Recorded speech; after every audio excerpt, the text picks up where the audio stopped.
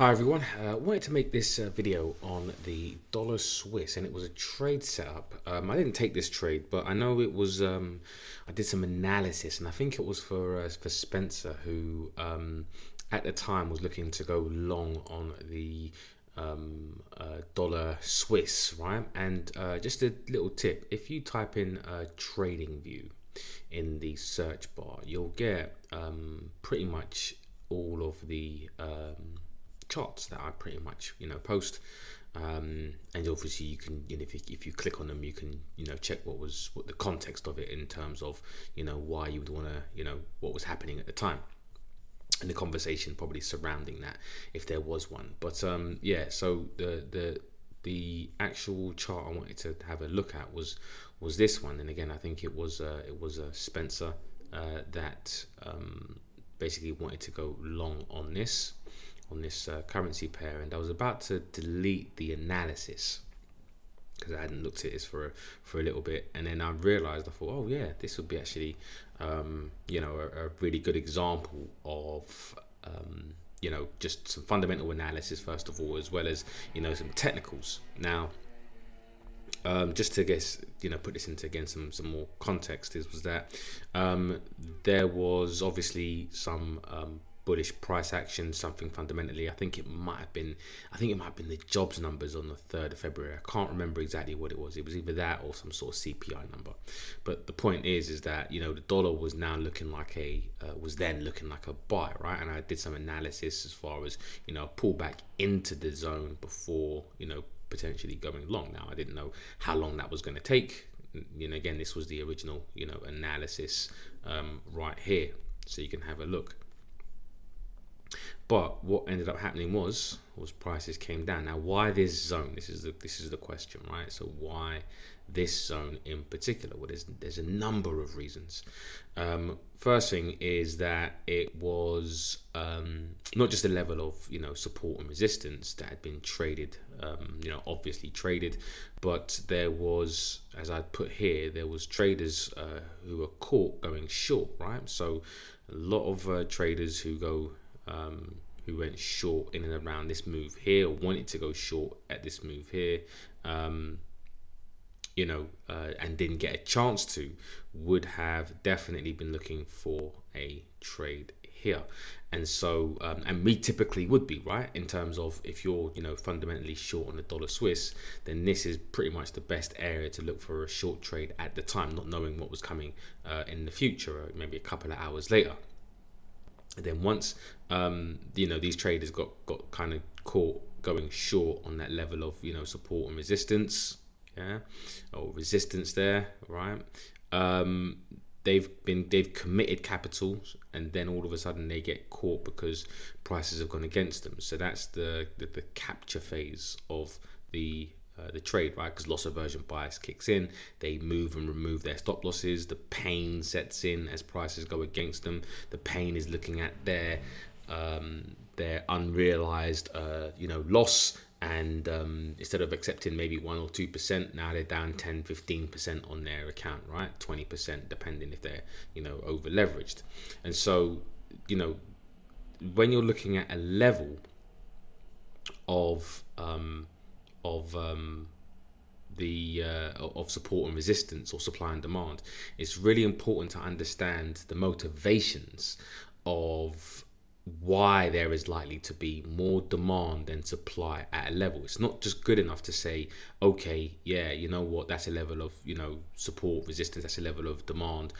You have to understand why, first of all, fundamentally, you would want to be a buyer of the dollar over the Swiss franc, and also as well, why um, there's likely to be more demand orders than supply orders, right? So this area here, traders going short, pain, and then you've got relief. Now the relief is where traders who went short here would have been uh, to, to exit their trade at maybe a small loss or a break even, which is the next best trade after you know going through um, you know a massive drawdown on their account or unrealized drawdown. When prices start to come back down, they want some pain relief, and then if they went short here, then they have to basically buy to exit, right? They have to buy to exit. And um, and then there's traders who are trading just support and resistance, looking to buy here. You know, they have no idea. They're just pressing buy, setting pending orders, or um, you know whatever orders they are, or looking for entries in and around this area. They're looking to buy. And anyone who went short anywhere up here is probably looking for to take profit. And if you go short here, then again to take profit, you have to do what? Buy in and around here. You've also got you know the dollar, which was a buy at the time against the Swiss franc. And so there, there we have, you know, there we have it, right? And so, you know, that was the initial, you know, bounce. Now we did come back further, right? And this is again due to uh, liquidity. This is due to um, not everybody got a chance to buy. And when I say everybody, I'm talking about not retail traders, but institutional, you know, banks, etc. Remember, they have to accumulate and buy over a certain period of time, right? And so, you know, when when it's okay for us to just place a place an order, a couple of orders, but they need to avoid liquidity um, uh, slippage, right? And so, if there's not enough liquidity uh, to buy enough orders, right, and, and fill their books as they want to, then um, you know they, the, you know the, the, the market makers, I guess, are tasked with um, uh, ensuring that there's enough opportunity for them to buy at some point, right? And so this is basically what happened again, right? So when prices started to come down and nothing had changed fundamentally for the dollar, they could get even an even better price, yeah. And you can see it basically drove prices even higher and so um and so yeah this area here this demand zone again nobody knows where nobody knows exactly where the turning point is going to be right?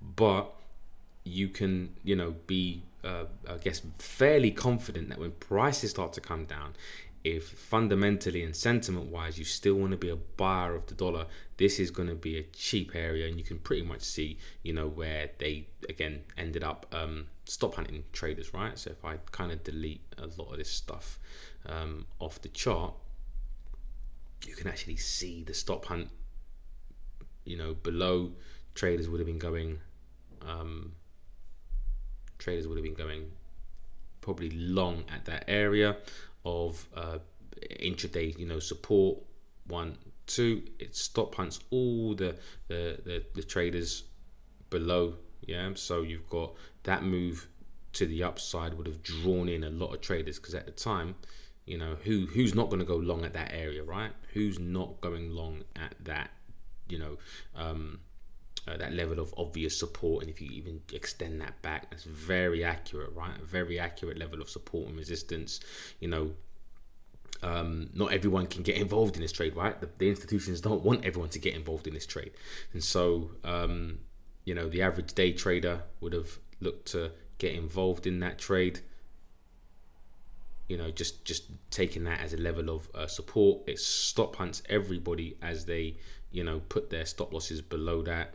And then you know you see actually that the big money ended up you know pushing money higher which is basically what they wanted to do because they wanted to buy dollars um, over the swiss franc. So uh, again going back to you know the analysis that was on the uh, the 6th of um, of February right here. You can pretty much see what happens. Now this is a CPR that typically typically typically um, is is is middle of the auction. And um, as you're learning I would probably caution maybe against taking these types of trades unless you're really confident on the fundamental side of things. Um, typically you want to trade at auction uh, lows or an obvious auction lows and obvious auction highs um, in the context of looking at you know where we are on the daily time frame chart right? So you're trading if you're looking at a daily time frame chart really the obvious auction low would be somewhere down here. Um, this would be actually considered potentially you know I say potentially but this would be considered more fair value. Um, and obviously this would be considered more expensive if you're looking at you know buying the dollar. Now there's nothing wrong with buying at fair value right? There's nothing wrong with it. Um, but just in the context of um, uh, where the best places to buy you're always looking at lows rather than fair value but of course you can start to you know trade at fair value but what i would say is, if you are trading around fair value um, don't put as much um, of, of, of, of your you know max risk on fair value than you would for example, at maybe the lows of a, of, of a of a, of an auction. So um, if you're if you normally trade, I don't know, zero point five percent, right? Then maybe just trade at least maybe half that, right? Zero point two five percent. But you'd put more money on the fact that this is the better place to buy if it does come down here of course you don't necessarily want to miss out on that move if you know you have a strong bias so you know just in case you know the market doesn't um, agree with you in terms of you know where the, the, the immediate bargain is right then and the prices come down here. At least you've only lost 0.25 percent but this area here would be the best place to look for buying. And then that would be where you'd probably put a bit more on or your normal position size. And if that if the market agrees with you that that is a bargain then prices should want to go um, a lot higher. So that's really where we are. Better risk reward down at the lows. Um, and uh, yeah I thought that was a really interesting um, uh, really interesting uh, chart you know, in terms of uh, the actual way that it played out. You know, you've got, for those of you who understand, you know, uh, market making, you've got that unfair auction that needed to be completed, and actually it was completed right there, right? So the unfair auction started right there. It was probably mostly completed there partially, but then obviously there as well, that was obviously the completion of the unfair auction. Um, an institutional flow push prices to the upside. So yeah, very, very, very, very nice. Um, you know, trade setup.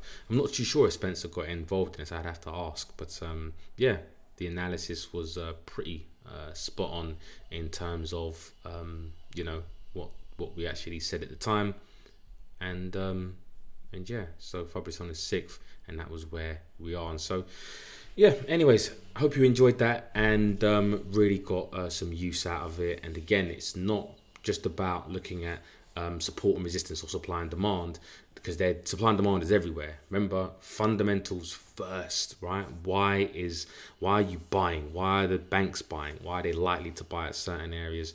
And then looking at the higher and lower time frames, or the higher time frames first, then going down into the lower time frames if it's in a good spot on the higher time frame, if it's in the, the setup is in the bargain area on a higher time frame, then brilliant. You know that this is a decent area to look for buying on a, on a lower time frame. And uh, yeah, that's pretty much it. All right, guys, take care and speak to you soon.